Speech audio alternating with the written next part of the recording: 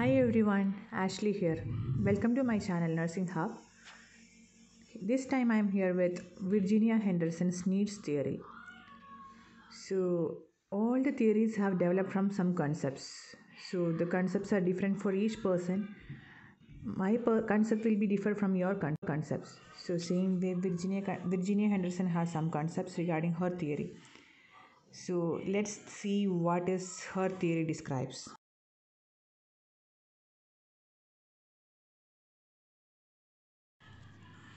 First, let's see the basic introduction about Virginia Henderson.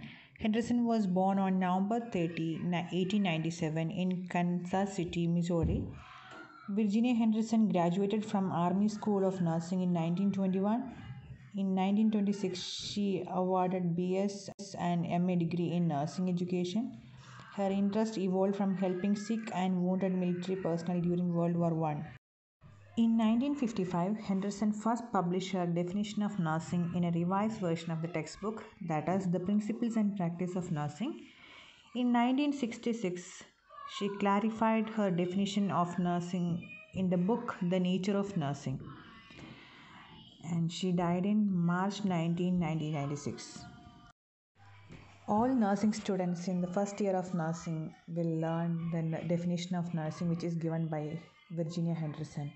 So, Henderson views her work as a philosophical statement rather than a theory because the term theory was not used at the time she formulated her ideas.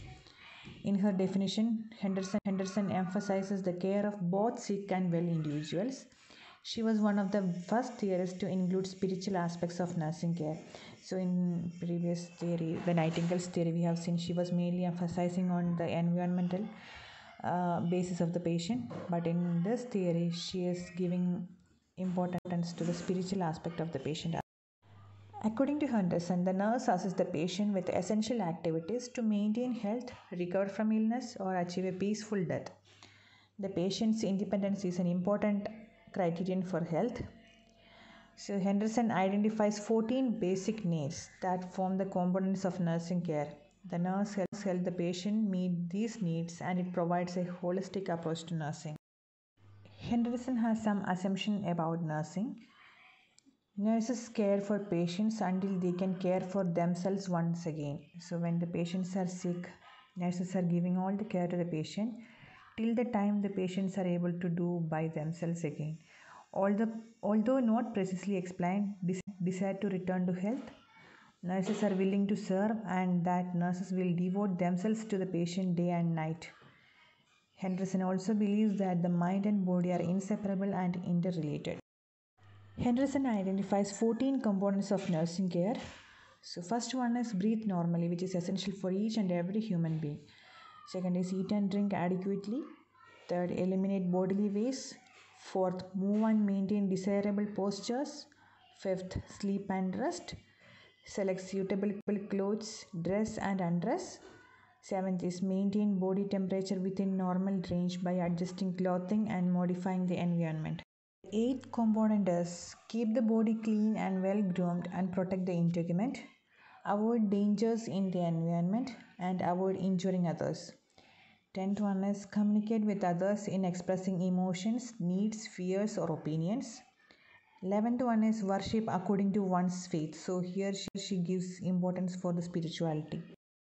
The next component is work in such a way that there is a sense of accomplishment play or participate in various forms of recreation.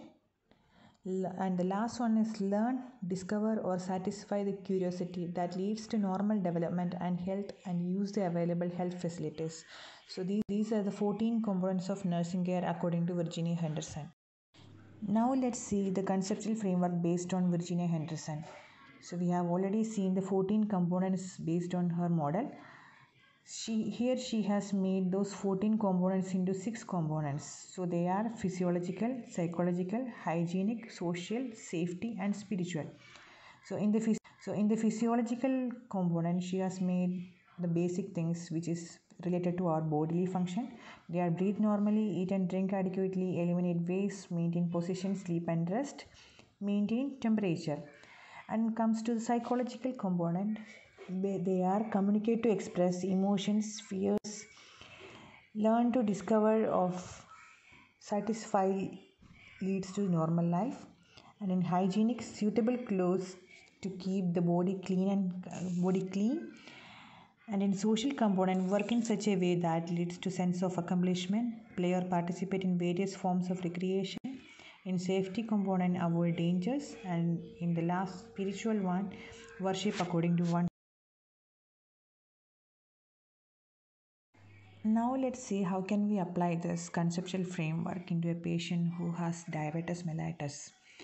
So we have seen those six components. So in the physiological component we are providing diabetic diet providing exercise to maintain his normal bodily function providing rest and sleep. Sleep. And in the psychological component we can allow the patient to communicate to express their feeling and adopting ability to disease condition. And in the hygienic one basic personal hygiene should be maintained. And in the spiritual one we can provide some religious activity based on one's own belief in the safety we know the patients with diabetes mellitus they are more prone to develop ulcers so we can provide food care protect from hypoglycemia protect from injury. And in the social one mainly safe working environment. So in this way depends upon the patient's condition we can apply this framework. Now the important part the henderson's definition and the four concepts of the nursing meta paradigm so we already told in the previous slide there are four meta paradigms in the nursing that is in the concept they are person health environment and nursing so here the Henderson defines defines person as an individual requiring assistance to achieve health and independence or a peaceful death. The person and family are viewed as a unit. Person is affected by both body and mind. Person consists of biological, psychological, social and spiritual components. Person is either sick or well and strives towards a state of independence. A person has a certain basic needs for survival person needs strength, will, or knowledge to perform activities necessary for healthy living. So, the basic definition of nursing that is coming in the person. In meta paradigm environment, she has not specifically defined regarding environment. Environment involves the relationship one shares with one's family. It also involves the community and its responsibility for providing health care Henderson believes that society wants and expects nurses to provide a service for individuals incapable of functioning independently, but in return, she expects society to contribute to nursing education. Environment can be controlled by healthy individuals, illness may interfere with this ability. Environment can affect health, personal factors such as age, cultural background, physical capacity, and intellect, and physical factors such as air, temperature play a role in person's well-being. Next paradigm is health. Health is referred to as an individual's ability to function independently in relationship to the 14 basic needs. Health is a quality of life that is basic to human functioning, requires strength, will, or knowledge. The paradigm nursing is defined as primarily assisting a sick or well individual to perform activities that contribute to health or a peaceful death. The person with sufficient strength, will, or knowledge would perform these activities unaided without any help. Helps a person be independent of assistance as soon as possible or achieve a peaceful death. Nursing requires working independently with other members of healthcare team. The nurse functions independently of the physician but uses the physician plan of care provide, to provide holistic care to the patient. Nursing requires basic knowledge of social sciences and humanities. This pioneering belief, which led to baccalaureate education as the basic training for nurses, was not adopted by the American Association until 1965. Nursing requires knowledge of social customs and religious practices to assess areas of possible conflict or unmet human needs. Nursing helps a patient meet the 14 basic needs through the formation of a nurse patient relationship Henderson identifies three levels of nursing function substitute, which means making up for what the patient lacks to be as a whole, helper, instituting medical interventions, or partner, fostering a therapeutic relationship with patient and functioning as a member of the healthcare team. Nursing is a logical, scientific approach to problem solving that results in individualized care. Nursing involves the use of written nursing care plan. Here I'll show you an example how the nurse's role will differ in different situations. So here, here is an example of an amputated patient. So the nurse's role will be diminishing as the rehabilitation progresses. So before the operation, the nurse's role is very minimal. So the main the main role is for the surgeon physician social worker family or anesthetist. On the first day of the surgery the nurse's role is half. We can see in the slide. And same way physician surgeon family members and patient. And again the first week the nurse's role is becoming minimal. And in the fourth month again it is becoming minimal. And in the sixth month it is becoming minimal. And in the first year it is becoming very minimal. So our nurse's role is to help the patient. When the patient needs the care in their situation and they are just contributing to their health when they are becoming. Now let's see what are the strengths of henderson's theory. So there is interrelation of concepts concepts of fundamental human needs, biophysiology, culture and interaction, communication and borrowed from other disciplines. Example Maslow's theory. Her definition and components are logical and the 14 components are a guide for the individual and the nurse in reaching the chosen goal. Henderson's theory is relatively simple yet generalizable. It is applicable to the health of the individuals of all ages. It assists in increasing the general body of knowledge within the discipline and her ideas of nursing care are well accepted in all the areas. When it comes to the weakness of her theory, there is a lack of conceptual linkage between physiological and other human characteristics. There is no concept of the holistic nature of human being.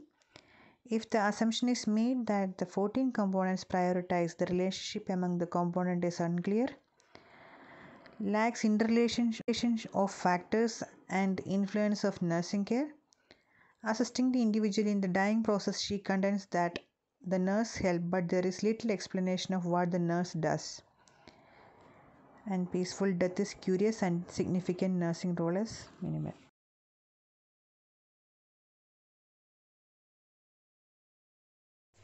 Now let's the, see the major part, the application of Virginia Henderson's theory in nursing process. So here again I have given the same identification data Mrs. James 72 year old female. Date of admission is on 828 320 2020 and she is a widow. Two children lives away. Religion is Christian. Language she knows Hindi and English. And her occupation is volunteer worker and her interests are gardening and active in clubs. Diagnosis CVA left sided. Chief complaints are left sided weakness and she is left handed. And personal and social history she lives in her own home, now in a four bedded room. Frequently reports difficulty in sleeping in the hospital until she was hospitalized. She slept six to seven hours a night. Has incontinence at times, needs assistance in bathing, feeding, etc. She misses her friends and describes herself as Miss. Believes independence, likes to interact with her own age group.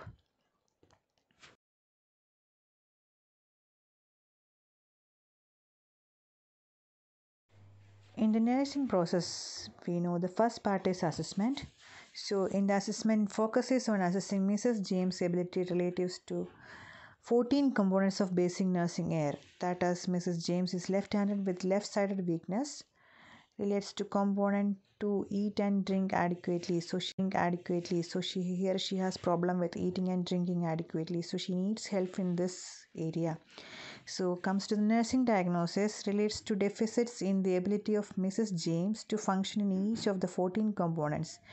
Takes into consideration on strength, will, knowledge, that is ability to feed self due to left-handed weakness and in the planning focuses on identifying those areas the 14 components that mrs james cannot do for herself which therefore the nurse must do or assist in doing that is feed mrs james until she is able to feed herself with the right hand this should lead to independence on the part of Mrs. James. In the implementation, as we know, whatever we have done, she has to carry out. We have to see whether she is carrying out well. Uh, we can help her to use the right hand to feed herself. In the evaluation relates to how soon and how well Mrs. James is able to feed herself with her right hand. That is for the first three days she need to be fed. The nurse can give the food to the patient and by fourth day held her utensils and fed self with assistance. By seventh day should I, the patient should be able to take a, uh, her feed by herself. So that is the aim of a nurse.